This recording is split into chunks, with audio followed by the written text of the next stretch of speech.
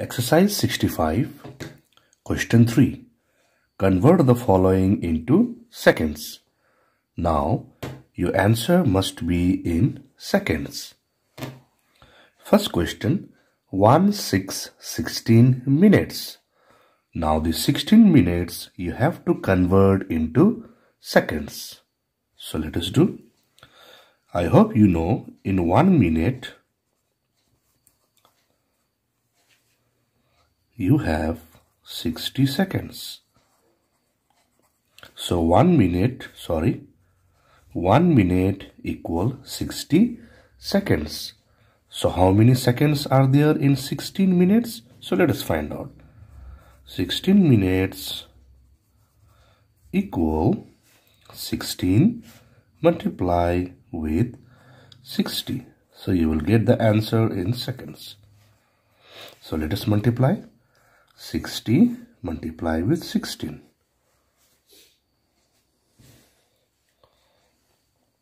Six into zero is six. Six multiply with six is thirty-six. One into zero is zero. One into six is six. So your answer is 960 seconds. Now, question B, there are you have 23 minutes. So you have to convert 23 minutes into seconds. So you can do this question B similar to question A. In place of 16, you have to write 23 minutes. Let me do question C. In question C, it is given 6 minutes 45 seconds. So in question they said to convert the following into seconds. So minutes must be in seconds. Seconds will remain as it is. We know we have to write this 1 minute equal 60 seconds. So this question given here we will write here 6 minutes 45 seconds will be equals to these 6 minutes we will convert into second. So 6 minutes will be 6 multiply with 60 seconds. Plus 45 seconds we have to add. So let us do calculation. 6 multiply with 60. What will I get? 60 multiply with 6.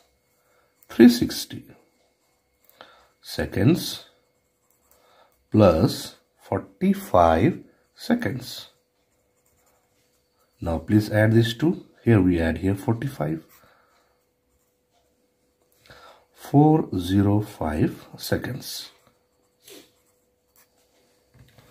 So children, similarly, you can do question D and question E. Let me do one more question, question F. Now in question F, you have 5 hours. Now these 5 hours you have to convert into seconds. So let us do solution. Now let us first convert hours into minutes. So we know in 1 hour we have 1 hour equal 60 minutes.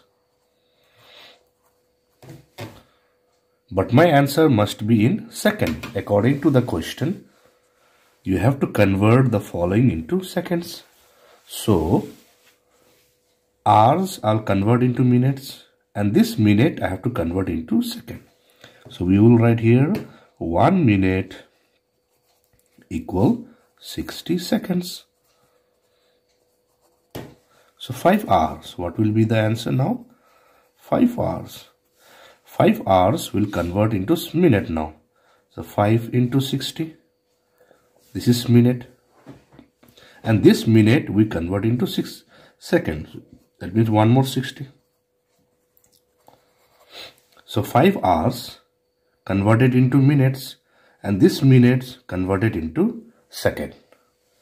So when I multiply this value, I will get answer in seconds. So let us multiply. 5 multiply with 60 300 again multiply with 60 6 into 3 18